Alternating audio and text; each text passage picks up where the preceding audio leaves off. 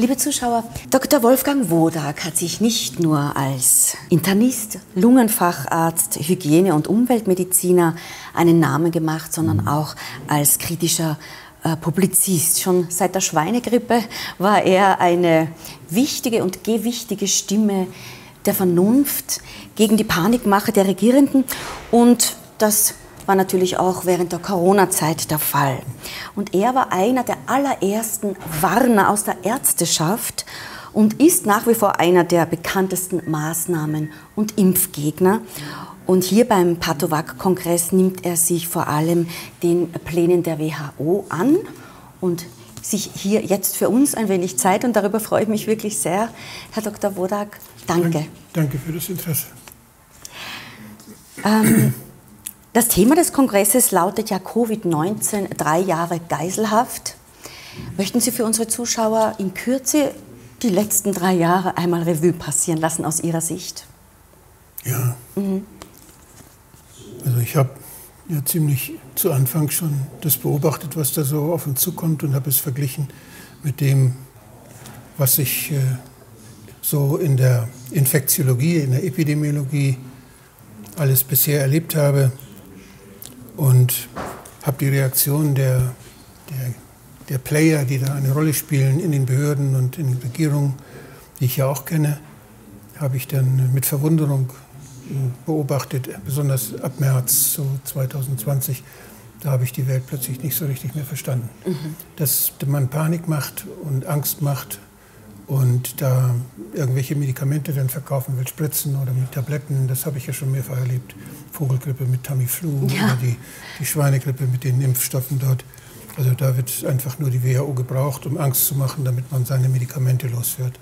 Nun gab es bei Corona ja noch keine Medikamente, sondern was man gemacht hat, man hat äh, die Maßnahmen, von denen ich wusste, dass sie nichts bringen, wie zum Beispiel die Maske, das ist natürlich als Arzt für Hygiene, äh, als der Krankenhaushygiene gemacht hat, wo Masken ja auch manchmal sinnvoll sind. Ja weiß ich, wann man Masken nimmt und wann man sie nicht nimmt. Mhm. Ich kenne die wissenschaftliche Literatur und habe mit Staunen gesehen, wie plötzlich Leute, die keine Ahnung davon hatten, den Leuten erzählten, dass sie dieses Ding immer auftragen, aufsetzen mussten. Das war absurd. Und die, als das dann mit der Impfung losging, nachher, das fing jetzt schon ziemlich früh an, wie das der, der Bill Gates, der gesagt hatte, wir müssen sieben Milliarden Menschen impfen. Da dachte ich schon, oh, der hat da ein Geschäft im Auge wieder, mhm. was er mithilfe der WHO wieder umsetzen möchte. Ich wusste, dass er einer der Hauptsponsoren ist bei der WHO und seine Organisationen auch, mit denen er zusammenarbeitet. Mhm.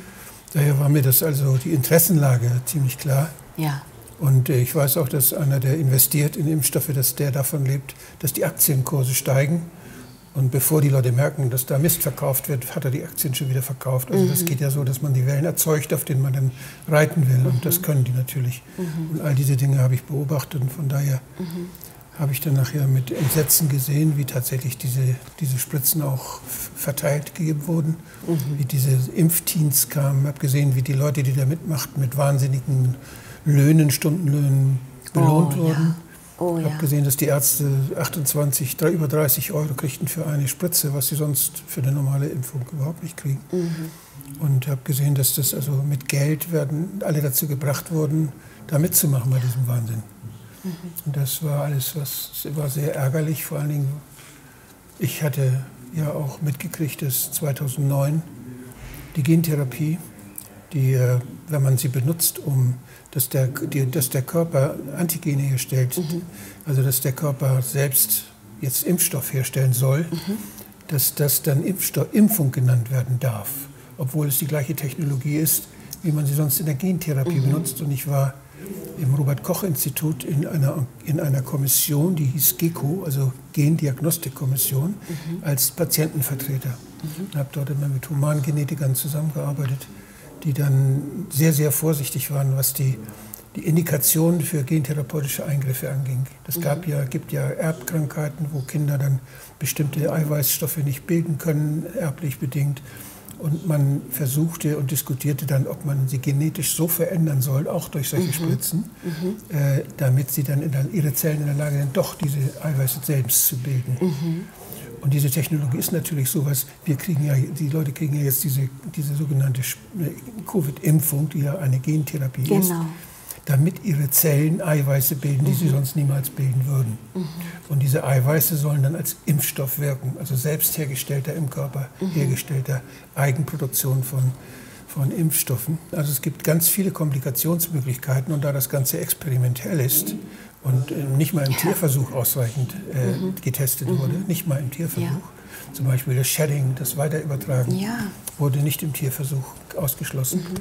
Das braucht man bei Impfungen nicht. Bei Gentherapie muss man das. Und dadurch, dass das Natürlich. umetikettiert wurde als Impfung, ist das alles weggefallen. Ah. All diese Risiken, die da möglich sind, hat man völlig ausgeblendet. Wie und perfide. Hat die Leute, ja, hat die Leute da exponiert. Mhm. Und ich habe den Eindruck dann sehr schnell gehabt, dass man dort einen Großversuch startet und diese neue Technologie damit ausprobiert bei Millionen von Milliarden von Menschen. Und gleichzeitig wird uns angekündigt, dass diese neue Technologie immer reifer wird und dass man demnächst alle auch eine andere Impfung auf diese Technologie umstellen ja, will. Das ist das und nächste. da sammelt man jetzt offenbar die Erfahrungen. Und wenn die Leute da reihenweise umfallen würden, wenn das also überall so gefährlich ist, dann würde das auffallen. Und deshalb wir haben zwar eine Übersterblichkeit in Deutschland von 30, 40 Prozent ja. 22 Das ist eine Hausnummer. Ja, es ist sehr, ja. sehr viel. Ja. Wissen zwar nicht woher, das kann man ja durch die Übersterblichkeit alleine nicht feststellen. Also Kausalität ist damit nicht bewiesen, aber wir haben aus anderen Ländern berichtet, dass eben bei Menschen, die diese Spritze gekriegt haben, dass da mehr Krankheiten sind und dass die häufiger krank werden dass, und auch, auch mehr sterben, die diese Spritze ja. gekriegt haben. Mhm. Und vor allen Dingen in jüngerem Alter. Genau. Da ist es auffällig. Mhm. Ältere Menschen sterben ja. Weil sie alt ja, sind weil auch. Weil sie alt sind, ja. wenn der 80-Jährige sterben. Die sind auch vorher schon gestorben. Und es gibt so auch es. solche Sachen, wie wir das äh, im Herbst 20 erlebt haben, dass die Altenheime leer getestet wurden, dass da waren Pflegepersonal ist da getestet worden. Das war dann positiv und dann musste das Pflegepersonal nach Hause und da hatten die alten Leute keine Betreuung mehr. Und da, dann wurden sie zur Not ins Krankenhaus geschickt, auf die Intensivstation mit 80 Euro, das Todesurteil. Was sagen Sie als erfahrener Arzt dazu? Hat es sowas eigentlich jemals schon gegeben? Nein. Nein. Nein, das hat es bisher nicht gegeben. Es war so deutlich auch in der Zeit, dass es losging, äh, 21 mit den Spritzen. Da sah man ja richtig im, Jahr, im Laufe des Jahres wurden bis zu fast 50, 60 Prozent der Bevölkerung schon erreicht mhm. mit den ersten Spritzen. Und da sah man, ich habe dann die Zahl der Notfalleinsätze und die Notfalldiagnosen mir angeguckt und habe gesehen, wie das genau parallel stieg. Ja. Und zwar nicht die Lungenerkrankung. Covid sagt man, der dachte, das ist ein mhm. respiratorisches Virus, mhm. dass die Atemwegserkrankungen mehr werden oder so. Nee, da war nichts. Aber die, die neurologischen Erkrankungen, Schlaganfälle und sowas, wurde deutlich ja. mehr als Notfall. Herz. Und auch die Herz-Kreislauf-Erkrankungen. Ja. Das ist ja plausibel, mhm. weil diese durch die Spritzen ja die, die, Innenwies, die Innenwände der Gefäßzellen der, da, da, geht oder? ja diese, diese, diese RNA rein mhm. und dann fangen diese Zellen an, ja, diese Spikes zu bilden mhm. und werden dadurch so verändert, dass es die Immunzellen, die da vorbeifließen im Blut, mhm. diese Zellen als fremd erkennen und zerstören mhm. und dadurch die Innenwand der Gefäße kaputt machen. Mhm. dann kommt es zu Blutungen, kommt zu Gerinnselbildung und all diesen.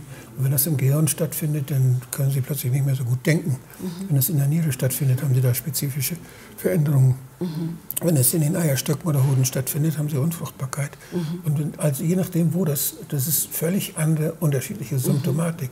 Es gibt nicht, da ist eine Spritze und die hat die Wirkung gibt es nicht. Sondern ganz viele verschiedene ja. Folgen können da auftreten. Was denn diesen Spritzen zugerechnet wurde, man hat dann ja geguckt, sind Schäden aufgetreten bei Geimpften oder bei Ungeimpften. Und jemand, der eine Spritze, der eine Spritze gekriegt hatte, galt als ungeimpft. Ja, der war nicht war vollständig ja immunisiert. Und mhm. als, ein jemand, der die zweite Spritze äh, gekriegt hatte, galt 14, bis 14 Tage danach auch noch als ungeimpft. Richtig. Und genau in der Zeit sind die ganzen Komplikationen aufgetreten. So war das. Das waren also dann keine Impffolgen, das waren ja aber waren Nichts für die Statistik. Mhm. Die wurden dann sogar manchmal als Covid noch äh, ja, so definiert, wenn, die, mhm. wenn es dann gelang, einen positiven Test gleichzeitig zu haben. So wie man ja jetzt äh, viele der Nebenwirkungen ganz einfach sehr gerne als Long-Covid bezeichnet. Genau, ja. Long-Covid ist nichts anderes als Post-Vac-Syndrom, ist das richtig? Das ist diese Differentialdiagnose muss man machen. Da ist ja der Arne Burkhardt, der leider, War, ja. leider jetzt verstorben ist. Mhm. Das tut mir sehr, sehr leid. Ich habe gut mit ihm zusammengearbeitet. Wir haben uns gerade noch vor einigen Wochen, war noch gar nicht lange her, haben uns getroffen und haben uns Gedanken gemacht, wie man die Differentialdiagnose ja. am besten systematisieren kann, mhm. sodass jeder Arzt Bescheid weiß, wenn das ist, dann kann man ein bisschen ja, das machen. Dass man, man gezielt so danach gucken Handlungs kann. Ne? Handlungsleitlinie macht. Mhm. Und da hat er mitgeholfen, daran zu arbeiten. Und er hat ja diese Unterscheidungsmethode, ist das eine die Folge einer, einer, einer Virusinfektion, wo Coronaviren da waren? Oder sind das nur die Spikes, die der Körper selbst gebildet mhm. hat? Das konnte er unterscheiden durch eine immunhistologische Untersuchung, mhm. wo er das Gewebe, wo er die Spikes anfärben mhm. konnte. Mhm. Er hat das Eiweiß von den Spikes dann, welches ja ein künstliches Eiweiß mhm. ist, das konnte er dort nachweisen, wo es war. Mhm. Und da hat er es überall gesehen, in, in, der, in den Gefäßwänden, in der, Im Herzen, gell, zum beim Beispiel. Herzen sehr viel, in der Lunge, in, in, in der Aortawand, mit Aneurysmen oder im Gehirn. Ja. Er, hat, er hat also wirklich sehr die Krankheitsbilder hat er, hat er gewusst und hat, das, hat diese ganzen Fälle gesammelt.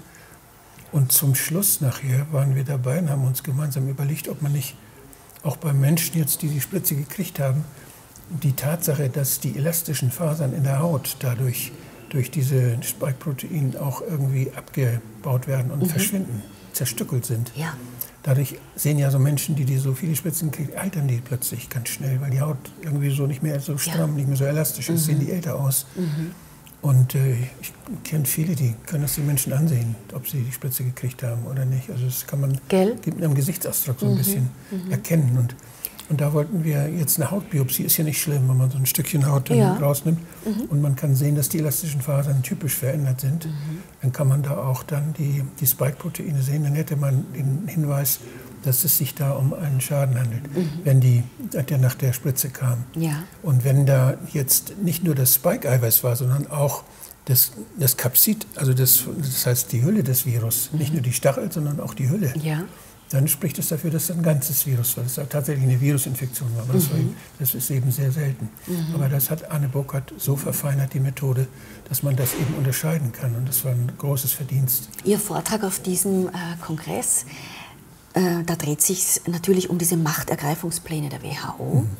Und ähm, auch, wie man diese Pläne abwehren könnte. Würden Sie mhm. vielleicht unseren Auf 1 Zusehern ganz kurz erörtern, wie Sie sich das vorstellen?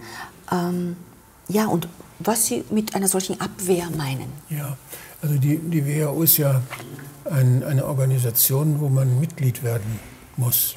Mhm. Und äh, es gab ja Länder, die sind da gar nicht erst eingetreten. Ich meine, Liechtenstein ist nicht Mitglied der WHO. Und äh, habe ich gelesen. Ich muss mal, ich, morgen bin ich da, ich frage mal. Mhm. Und, und äh, ich habe dann äh, natürlich auch gesehen, dass die USA mal plötzlich ausgetreten sind.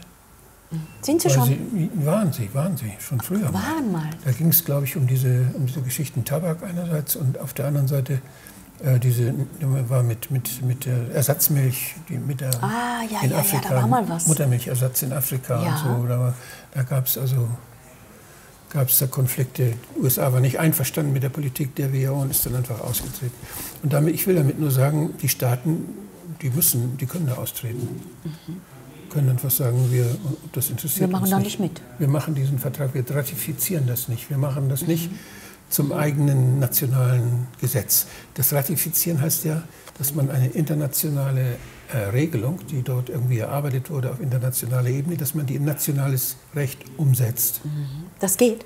Das so geht es mit vielen internationalen Abkommen, die wir auch innerhalb der EU, die werden national ratifiziert. Mhm. Das heißt, ein entsprechendes nationales Gesetz wird gemacht, wo das drin steht, was in diesem internationalen Ding vorgeschlagen mhm. wird. Mhm. Und man kann einfach, da gibt es zwei Stufen meistens bei diesen, bei diesen internationalen Abkommen. Einmal kann man das unterschreiben, dass man das machen will. Ja. Dass man das gut findet. Mhm. Das ist der erste Schritt. Sie meinen als, als Nation jetzt oder Sie meinen jetzt die einzelnen das Bürger? Das kommt darauf an, was es ist. Manchmal ist es eine, eine Delegation, eine nationale Delegation, die mhm. das macht. Manchmal ist es die Regierung, die das macht. Mhm. Meistens ist es die Regierung. Mhm. In solchen Fällen, wenn es internationale Organisation ist, ist der Botschafter meistens derjenige, Aha. der das dann für den Staat praktisch macht. In Deutsch, mhm. der deutsche Botschafter in Genf zum Beispiel ist ja. bei der WHO. Mhm. Der ist nicht nur bei der WHO, der ist auch bei den anderen UN-Organisationen, die dort sitzen. Der könnte das? Der macht, der kriegt den Auftrag vom Kanzleramt dann oder von der Regierung und der sagt dann, unterschreib mal und dann macht er das für Deutschland. Ja. Schön wär's. ja, wenn er, also, wär wenn, er, wenn er diese Pläne unterschreiben würde, wäre es nicht schön. Das wäre gar nicht Ach so, schön. ich habe jetzt gemeint den Austritt. Also das, das, ja. ähm, ja. die den Austritt, ja, wenn er den unterschreiben, den braucht er gar nicht zu unterschreiben. Mhm. Und äh, mit der Abwehr dieser WHO-Pläne, ist es das, was Sie gemeint haben, oder haben, hätten Sie da noch was anderes auch gemeint, diese abzuwehren sozusagen? Naja, wenn wir sie abwehren wollen, dann müssen wir dafür sorgen, dass diejenigen, die das politisch umsetzen sollen, das nicht mitmachen. Das heißt, wir müssen unsere Abgeordneten eigentlich zu fassen kriegen und sagen, wisst ihr eigentlich, wenn ihr dem zustimmt, was das bedeutet, ja. dass ihr euch selbst entmachtet, mhm. dass ihr euch ausliefert diesem wirklich korrupten Laden WHO, der uns schon so oft betrogen hat, ja. der solchen Schaden angerichtet hat bei der Schweinegrippe, bei der Vogelgrippe, der uns Milliarden gekostet hat, mhm. der, uns, der uns jetzt diese Spritzen dort aufoktroyiert hat, diese unsinnigen Maßnahmen empfohlen hat, der uns diese Angst gemacht hat. Genau vor einer, vor einer Infektion, die offensichtlich nicht mehr Schaden anrichtet als jede normale Grippe. So ist es. Mal wieder, nicht nur das nicht nur jetzt, sondern schon vorher bei der Schweinegrippe, bei der Vogelgrippe, überall. Ja. Die haben immer wieder diesen gleichen Betrug gemacht. Mhm. Und es ist hinterher rausgekommen und alle haben gesagt, ja, es war wohl nicht so gut. Mhm. Und jetzt machen sie es wieder mit. Ja. Nur in ganz großem Stil. In derselben Organisation wollen sie jetzt äh, die Ermächtigung, die will die Ermächtigung haben von uns, dass sie sowas nicht nur empfehlen kann, sondern dass sie das Bestimmen anordnen kann. kann. Richtig. Richtig. Ja. Und dass sie auch den Druck erzeugen kann, zum Beispiel mit Hilfe anderer internationalen Organisationen, dass der Staat gezwungen wird, damit zu machen. Mhm. Mhm. Und kein Staat ist gezwungen, bei der WHO mitzumachen. Und das Selbstbewusstsein sollten die Abgeordneten haben und sollten mhm. sagen, nein, ohne uns. Mhm. Jetzt war ja zum Beispiel in Österreich der Widerstand gegen die Corona-Impfpflicht, gegen die Maßnahmen so groß, dass die Leute auf die Straße gegangen ja. sind. Und das hat ja tatsächlich auch Wirkung gezeigt. Die ja. Impfpflicht wurde erstmal zurückgenommen. Ja. Ähm, haben Sie die Hoffnung, darf man die Hoffnung haben, dass so etwas auch in Bezug auf die WHO-Pläne funktionieren also, könnte? Wenn, wenn der Wahnsinn, das ist wirklich Wahnsinn, dass eine Weltbehörde bestimmen will, wo eine Gesundheitsgefahr für die Bevölkerung entsteht und dass sie selbst dort überall präsent sein will und definieren will, wann das zu einem Risiko das wird. Die wollen ja alles, die wollen sagen, womit man das, womit man das bestimmt, mhm. wie, das, wie man das definiert, wie die Grenzwerte sind. Mhm. Ich habe das hier erzählt, wirst du ja schon mit dem Cholesteringrenzwert. Wenn die WHO den Cholesteringrenzwert runtersetzt um 40 Milligramm pro Deziliter, dann sind plötzlich 86 Prozent der Bevölkerung mehr behandlungsbedürftig. Ja. Ja. Und die Pharmaindustrie freut sich. Mhm. Und die Pharmaindustrie sitzt da und finanziert die WHO. Ja. Aber die WHO, Entschuldigung, die WHO will ja noch so viel mehr. Die, WHO, die geht ja auch an unsere Kinder. Sie, sie hat überall ihre Finger drinnen. Die WHO will die, die Gender-Thematik vorantreiben diese Verwirrung ja der Kinder. Sie meint es gut mit uns.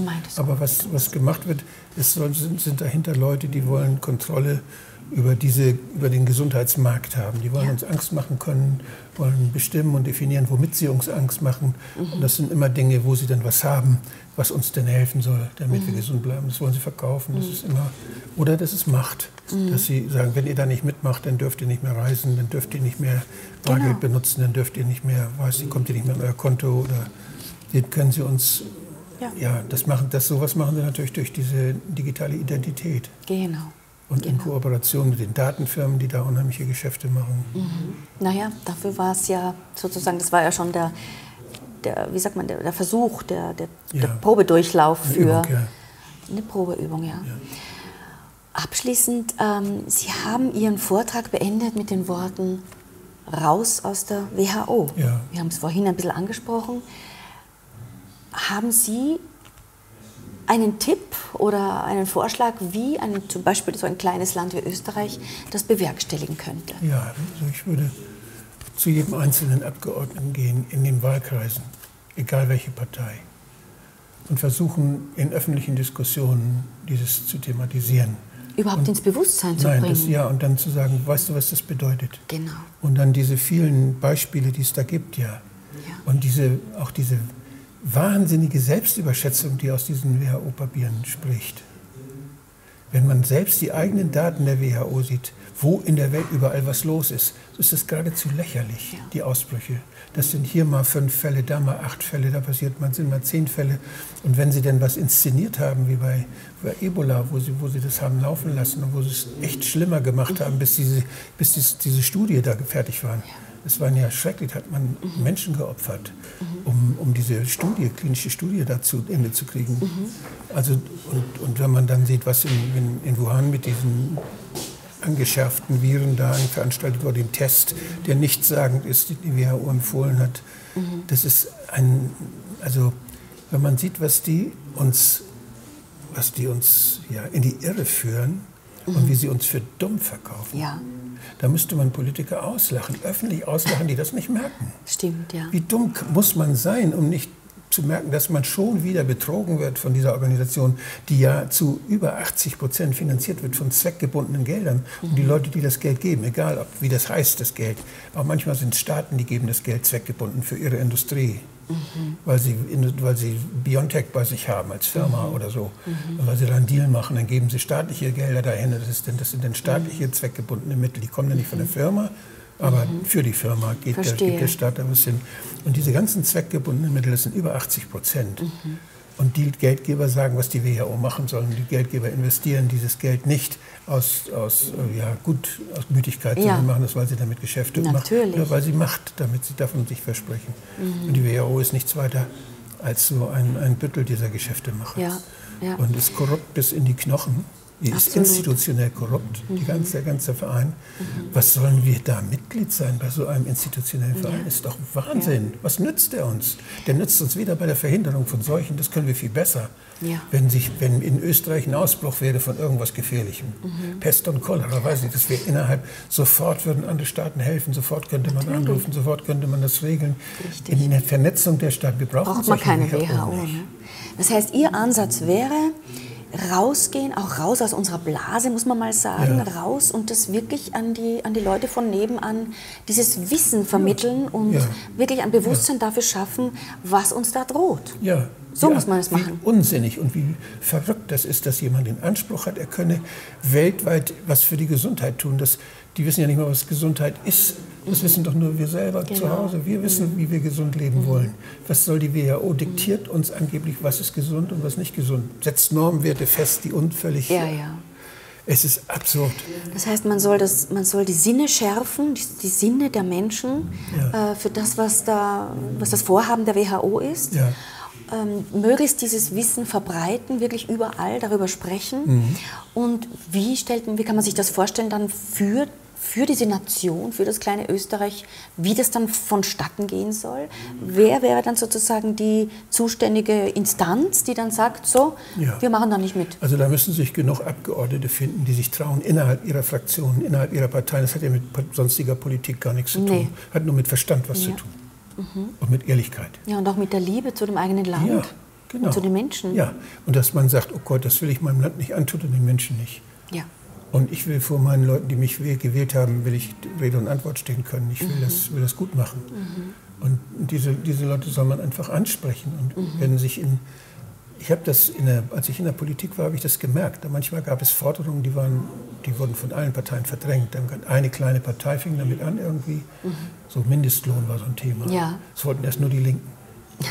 Und dann nachher, dann merkte man, oh, da waren aber viele, die wirklich brauchten Mindestlohn, weil die ausgebeutet wurden. Und dann war die SPD auch dafür.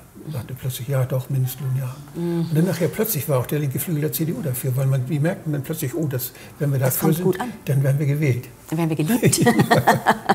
Und so ähnlich müsste das gehen. Es müsste, die Vernunft muss sich durchsetzen. Ja, die Vernunft ja. muss sich durchsetzen. Das ist auch ein schönes Schlusswort, würde ich sagen, für unser sehr, sehr schönes und ausgiebiges, ausgiebiges Gespräch. Und ich danke Ihnen ganz von Herzen, dass Sie nach Ihrem anstrengenden Vortrag sich noch die Zeit genommen haben für uns. Alles, Danke sehr. Alles für Österreich. Dankeschön. Gut. Okay.